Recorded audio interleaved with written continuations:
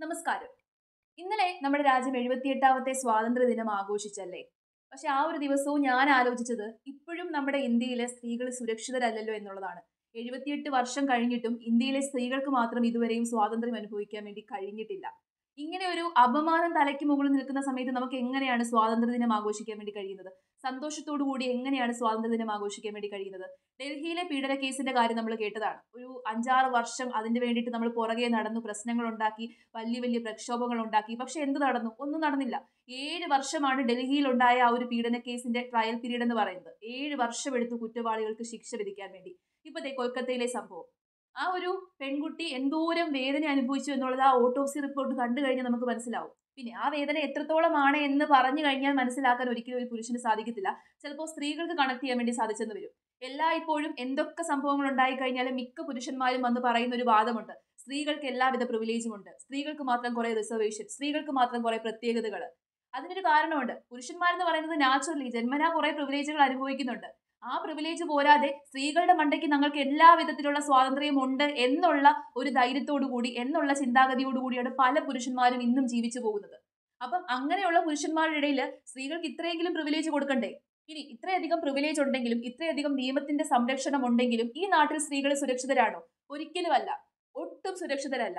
നൂറ് ശതമാനം ഈ നാട്ടിലെ സ്ത്രീകൾ സുരക്ഷിതരല്ല. ഒരു പെണ്ണിനെ ഇരുട്ടിന്റെ മറവിൽ കിട്ടിക്കഴിഞ്ഞാൽ ആരുമില്ലാത്തപ്പോൾ കിട്ടിക്കഴിഞ്ഞാൽ എല്ലാ പുരുഷന്മാരും ഈ ഒരു ലെവലിലേക്കാകും ഇനി സ്ത്രീകൾക്ക് പ്രിവിലേജ് ഉണ്ട് സ്ത്രീകൾക്ക് നിയമത്തിന്റെ സംരക്ഷണം ഉണ്ട് എന്ന് പറഞ്ഞ് വാദിച്ച് നടക്കുന്ന പുരുഷന്മാരോട് എനിക്ക് ഒന്നേ പറയാനുള്ളൂ. നിങ്ങൾ കാരണം ഒരു സ്ത്രീക്കും നിങ്ങളുടെ സ്പർശം കൊണ്ടോ നിങ്ങളുടെ നോട്ടം കൊണ്ടോ ഒരു സ്ത്രീക്കും അലോസരം ഉണ്ടാക്കിയിട്ടില്ല എന്നുണ്ടെങ്കിൽ നിങ്ങൾക്ക് അത് പറയാൻ വേണ്ടിയിട്ടുള്ള അവകാശമുണ്ട്.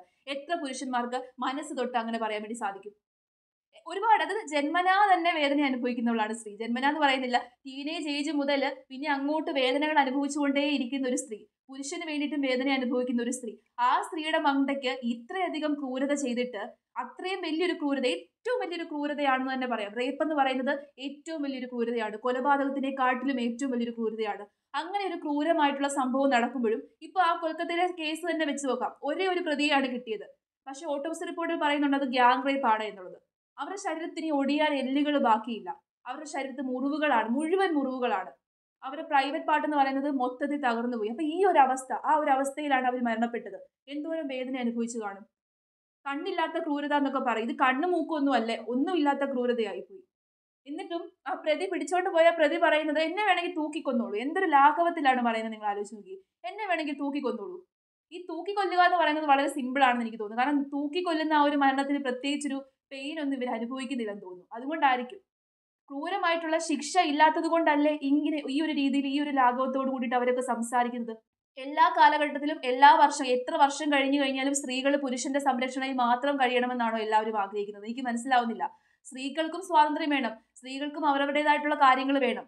ഇപ്പൊ പല ആൾക്കാരും പറയുന്നവർക്കും ആ പെൺകുട്ടി എന്തിനാണ് ഒറ്റയ്ക്ക് അവിടെ പോയി കിടന്നത്?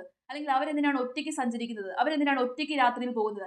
എന്നാലും ഈ പറയുന്നവരാരും തന്നെ പുരുഷന്മാരെ തിരുത്താൻ വേണ്ടിയിട്ട് തയ്യാറാകുന്നില്ല. നിങ്ങൾ ഒരു കാരണവശാലും സ്ത്രീകളെ ഉപദ്രവിക്കാൻ പോകരുത് സ്ത്രീകൾ എന്ന് പറയുന്നത് നിങ്ങളുടെ സ്വാതന്ത്ര്യത്തിന് വേണ്ടിയിട്ടോ അല്ലെങ്കിൽ നിങ്ങളുടെ എന്താ ഇഷ്ടത്തിന് വേണ്ടിയിട്ടോ സുഖത്തിന് വേണ്ടിയിട്ടോ എടുത്ത് ഉപയോഗിക്കാൻ പറ്റുന്ന ഒരു മെറ്റീരിയൽ അല്ല സ്ത്രീ എന്ന് ഒരു കാരണവശാലും പുരുഷനെ മാത്രം ആരും പറഞ്ഞു പഠിപ്പിക്കുന്നില്ല. പക്ഷെ സ്ത്രീകളോട് മാത്രം പറയുന്നുണ്ട് നിങ്ങൾ ഒറ്റയ്ക്ക് എങ്ങും പോകരുത് നിങ്ങൾ സുരക്ഷിതമായിട്ടിരിക്കണം. നിങ്ങൾ ഇരുട്ടത്ത് പോവരുത്. തന്നെ ഇരിക്കരുത്.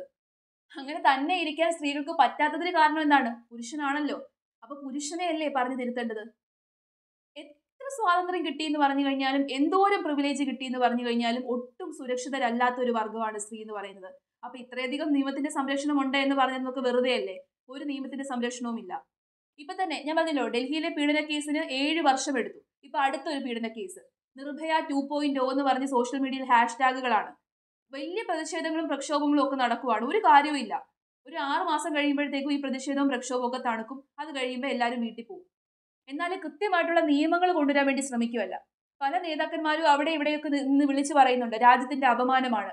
രാജ്യത്തിന്റെ അപമാനമാണ് എന്നുണ്ടെങ്കിൽ ഇനിയും ഇതുപോലെ ഒരു അപമാനം ഉണ്ടാകാതെ ഇരിക്കാൻ എന്താണ് ചെയ്യേണ്ടതെന്നല്ല നേതാക്കന്മാർ ആലോചിക്കുന്നത്. നമ്മൾ നോക്കിക്കഴിഞ്ഞാൽ ഇപ്പോൾ പല ഒരു ഇപ്പോഴത്തെ ഒരു റീസെന്റ് ട്രെൻഡാണ് ഒരു സ്ത്രീ പീഡിപ്പിക്കപ്പെട്ട് കഴിഞ്ഞാൽ ആദ്യം നോക്കുന്നത് അവളുടെ എന്താണ്? മതമാണ്. അപ്പൊ മതവുമായിട്ട് വരെ കണക്ട് ചെയ്യുവാണ് റേപ്പ് കേസിനെ റേപ്പിനെ ഒന്നും ഒരിക്കലും മതവുമായിട്ട് കണക്ട് ചെയ്യാൻ വേണ്ടി പറ്റത്തില്ല. ഒരു സ്ത്രീയുടെ മതം ഏതായാലും ജാതി ഏതായാലും അവൾ സ്ത്രീയാണ്. സ്ത്രീ എന്നും പുരുഷനെന്നും മാത്രം കണ്ട് ഇതിനെയൊക്കെ കാണാൻ വേണ്ടി പഠിക്കണം. ഒരു സ്ത്രീയുടെ ശരീരത്ത് മറ്റൊരു പുരുഷന് ഒരു രീതിയിലുള്ള അവകാശവും ഇല്ല. അതിപ്പോ അവളുടെ ഹസ്ബൻഡ് ആണെങ്കിൽ പോലും. അങ്ങനെയുള്ള ഒരു ഒരു സാഹചര്യത്തിൽ ഒരു സ്ത്രീയുടെ സ്വാതന്ത്ര്യത്തിലേക്ക് അവരുടെ ശരീരത്തിലേക്ക് ഈ രീതിയിൽ ഇടിച്ചു കയറുന്ന പുരുഷന്മാരെ തക്കതായിട്ടുള്ള ക്രൂരമായിട്ടുള്ള ശിക്ഷ തന്നെ കൊടുക്കണം. എങ്കിൽ മാത്രമേ ഇതിനൊരു അവസാനം ഉണ്ടാക്കാൻ വേണ്ടി സാധിക്കത്തുള്ളൂ. അപമാനമാണ് അപമാനമാണ് എന്ന് വിളിച്ചു പറഞ്ഞിട്ട് ഒരു കാര്യവുമില്ല. അപമാനം ഉണ്ടാകാതെ ഇരിക്കാൻ എന്ത് ചെയ്യണോ? എന്ത് മുൻകരുതൽ എടുക്കണോ ആ മുൻകരുതൽ എടുത്തതിന് ശേഷം മാത്രം പ്രക്ഷോഭങ്ങൾ സൃഷ്ടിക്കാൻ വേണ്ടി പോയാൽ മതി. നമ്മൾ പ്രക്ഷോഭം സൃഷ്ടിച്ചിട്ടോ നമ്മൾ ഘോരം ഘോരം പ്രസംഗിച്ചിട്ടോ ഈ രീതിയിലൊക്കെ സംസാരിച്ചിട്ടോ ഒരു കാര്യവുമില്ല. നടപടി എത്രയും പെട്ടെന്ന് എടുക്കണം. ഇപ്പൊ തന്നെ ബി എൻ എസ് എന്ന് പറഞ്ഞ നിയമങ്ങളൊക്കെ പുതുക്കി. പക്ഷെ ഇത്രയും നിയമങ്ങൾ പുതുക്കിയിട്ട് പോലും ഒന്നും ഉണ്ടാകുന്നില്ല.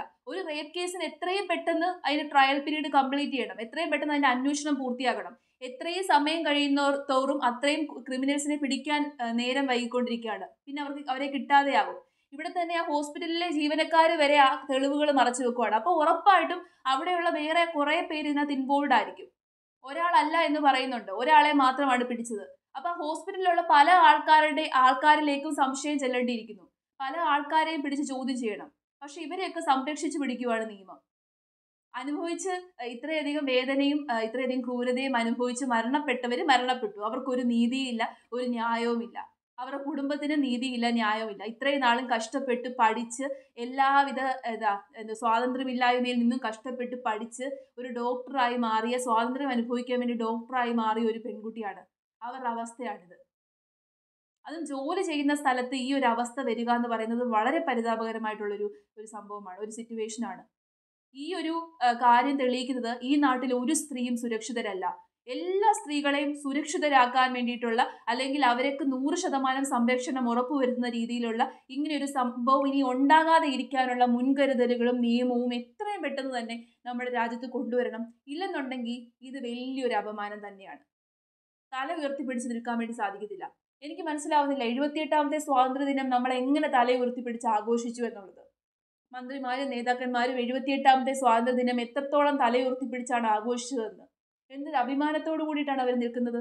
ഇത്രയും വലിയൊരു അപമാനം ഉണ്ടായപ്പോൾ ഇങ്ങനെ ഒരു സംഭവം ഉണ്ടായപ്പോഴെങ്കിലും ഇത്രയധികം പ്രൗഡ് കൂടാതെ ആഘോഷിക്കുന്നതായിരിക്കും നല്ലത്.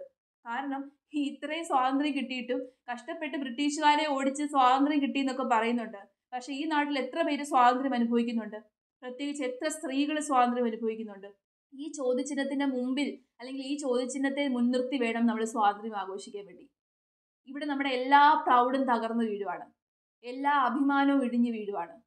മൊത്തത്തിലൊരു അപമാനമായിട്ട് മാറിക്കൊണ്ടിരിക്കുകയാണ് നമ്മുടെ രാജ്യം ഈ ഒരു കാര്യത്തിൽ ഇനിയെങ്കിലും അതിന് മാറ്റം വരുത്തണം. അതിന് കൃത്യമായിട്ടുള്ള ക്രൂരമായിട്ടുള്ള ശിക്ഷാ നടപടികൾ തന്നെ കൊണ്ടുവരണം. പ്രാകൃതം എന്നൊന്നും ഇതിനെ വിശേഷിപ്പിക്കണ്ട. ക്രൂരമായിട്ടുള്ള ശിക്ഷാ നടപടി തന്നെ കൊണ്ടുവരണം. എങ്കിൽ മാത്രമേ ഇതിന് അറുതി വരുത്താൻ വേണ്ടി സാധിക്കത്തുള്ളൂ.